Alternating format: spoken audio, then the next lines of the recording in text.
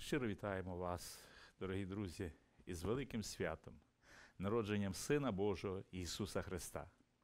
Хочу читати Слово Боже, яке написано в Євангелії від Матфія, другий розділ із першого віршу. Коли ж народився Ісус в Іфлеємі юдейському за днів царя Ірода, тось мудреці прибули до Єрусалиму зі сходу і питали, де народжений цар юдейський? Бо на сході ми бачили зорю і прибули поклонитися йому. Як зачув же цар Ірод, занепокоївся, і з ним весь Єрусалим. І зібравши всіх первосвященників і книжників людських, він випитував у них, де має Христос народитись.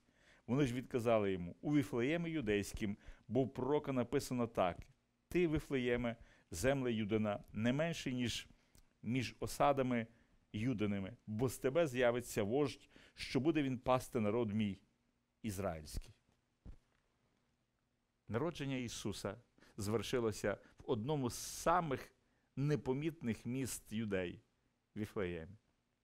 Віфлеєм зовсім не відзначався нічим великим, але це було місто Давида.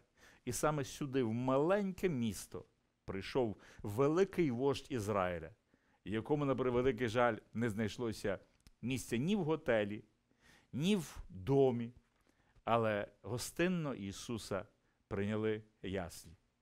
Дорогі друзі, я знаю, що світ наш різнобарвний, стільки розваг, стільки відпочинку різно пропонується.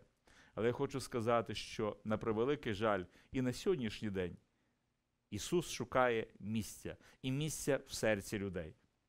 Я бажаю, щоб народження Ісуса Христа було не тільки святом для людей, які згадують для свого задоволення. Я бажаю, щоб ми в цей день вклонилися тому, хто більше двох тисяч років назад через народження війшов у світ. Я бажаю, щоб ми в нашому домі, в нашій оселі прославили Ісуса Христа, віддали честь для Нього, подяку, хвалу. Нехай любов Божа, яка вилилась через Ісуса Христа, розілляться в ці святкові дні в нашому домі, в нашому місці і в нашій церкві. Будьте благословенні, щасливі, святкуйте народження Сина Божого.